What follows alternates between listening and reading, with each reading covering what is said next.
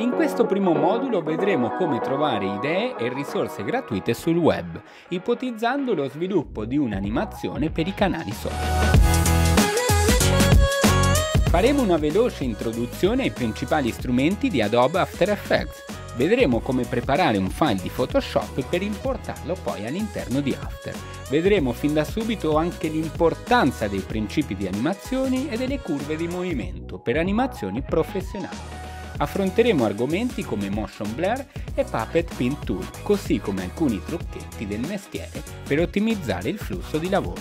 Sempre in questo primo modulo lavoreremo con i shape layer e anche con i testi, fino ad arrivare alla fase di rendering, dove vedremo la differenza tra Render Q e Adobe Media Encoder.